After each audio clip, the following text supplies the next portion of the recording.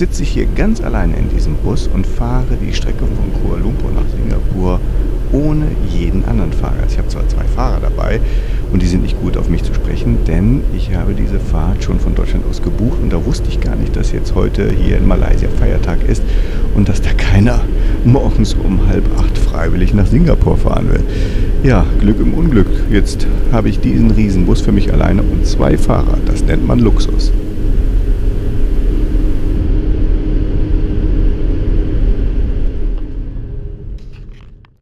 Welcome to Singapore, Mr. Unique. Willkommen in Singapur, Mr. Unique. Welcome to Ibis Singapore and Bencoolen, Mr. Unique. Ja, da sind wir in Singapur und gerade im Ibis Hotel eingecheckt. Ich mache nur kurz mal eine Begehung in meinem Zimmer. Elfter Stock. Das Bett, es ist sehr zentral gelegen, das Hotel, und das ist nicht einfach in Singapur ein bezahlbares Hotel in zentraler Lage zu bekommen, weil wir sind, glaube ich, nur zwei Kilometer von Marina Bay Sands entfernt. Das heißt, wir sind sehr schnell hier zu Fuß unterwegs, um alle Sehenswürdigkeiten äh, nicht gerade erstmal anfahren zu müssen, sondern wir sind vor Ort. Also das hier ist das Zimmer. Und da kann man nicht sagen, weshalb das Bad hat alles, was man braucht. Und ich bin sowieso die ganze Zeit unterwegs und möchte ja was von Singapur erleben und euch zeigen. Deshalb machen wir uns jetzt direkt mal auf die Socken, um die ersten Sehenswürdigkeiten zu sehen. Bis dahin, ciao! Ich bin in Singapur angekommen und wie man unschwer sehen kann, befindet sich hinter mir das oder mitunter eines der berühmtesten Hotels auf der Welt, das Marina Bay Sands. Berichtigt durch die zwei Toastboote mit dem Surfboard oben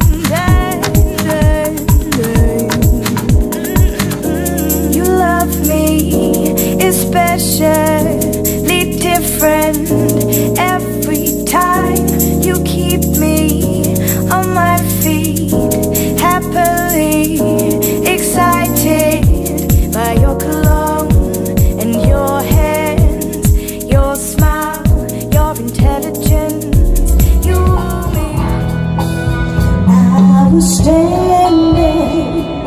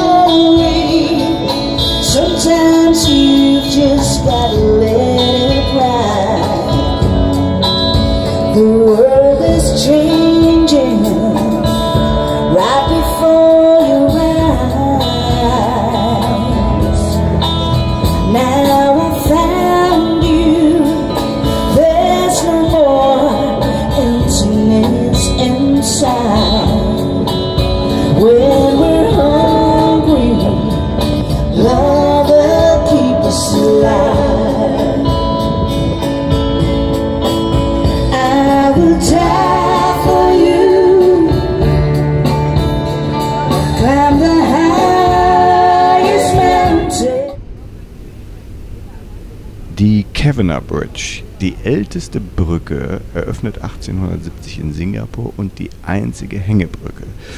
Und witzig ist auch noch das Schild hier, denn es besagt, dass das Betreten dieser Brücke mit Kutschen und Pferden verboten ist. Also, wo gibt es denn heute noch Kutschen und Pferde? Ne? Also das fand ich dann schon ganz witzig.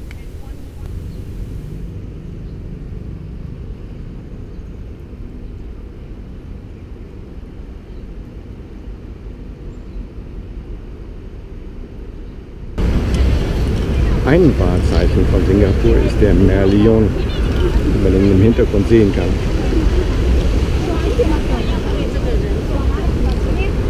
Deshalb wird auch so belagert von Touristen.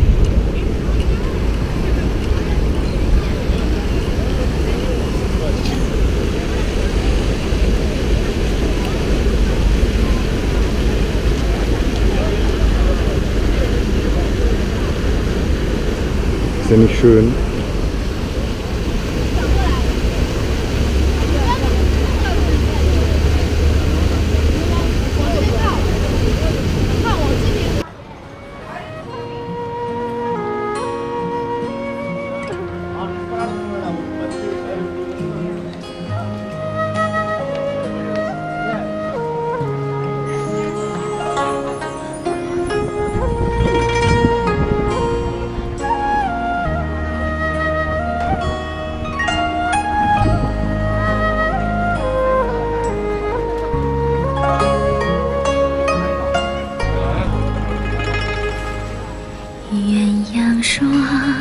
栖蝶双飞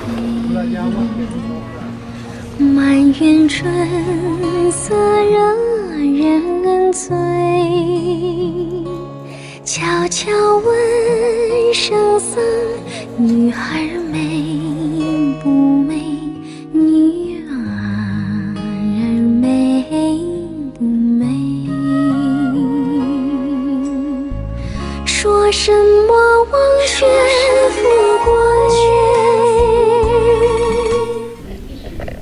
Jetzt zeige ich euch mal, wie man im U-Bahn-Netz von Singapur ein Ticket löst. Hier habe ich schon ein Ticket, das habe ich schon mal genutzt. Das kann man bis zu sechsmal aufladen. Ich lege das hier oben auf die Fläche. Dann suche ich äh, den Ort aus, wo ich hinfahren will.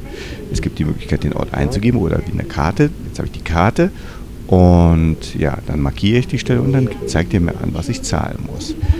Das zahle ich dann auch und dann kann ich genau diese Strecke fahren. Also ich zahle wirklich auch nur die Strecke, die ich nutzen möchte. Das finde ich eigentlich recht komfortabel und man achtet halt darauf, dass man Karten mehrfach nutzen kann. Und ja, jetzt rennen wir noch schnell runter zur Bahn und dann fahren wir zu unserem nächsten Ziel.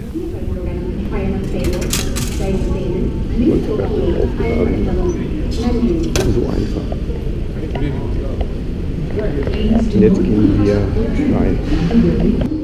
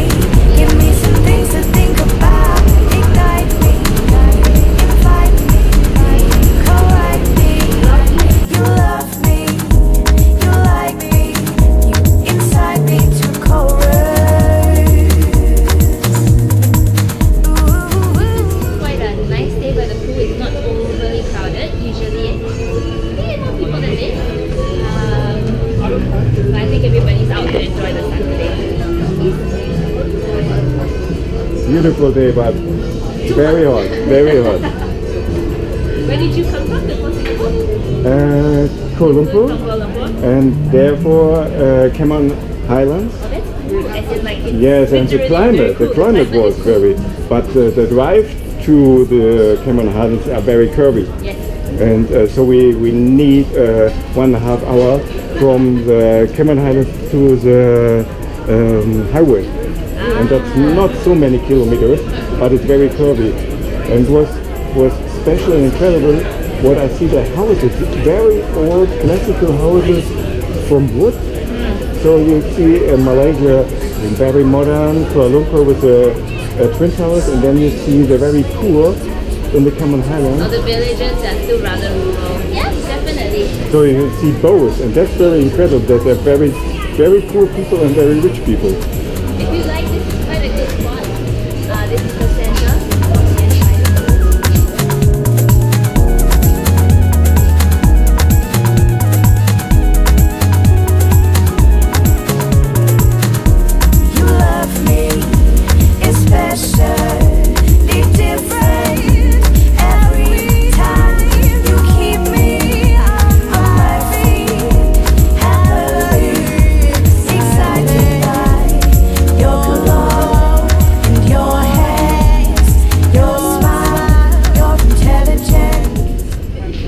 Mr. Unique on Tour around the world. Und heute habe ich mal eins der berühmtesten Hotels beschrieben, das Marina Bay Sands in Singapur. Hier oben auf dem Surfbrett, auf den drei Toasts, sehen wir bei bester Sicht sehr weit in die Ferne eben noch den Blick auf Downtown gehabt, auf die Skyscraper und nun der Blick auf die Bucht hinter mir. Also besser kann man es gar nicht erwischen bei dem Wetter. Und man muss einfach den Ausblick nur genießen. Ich tue es auf jeden Fall.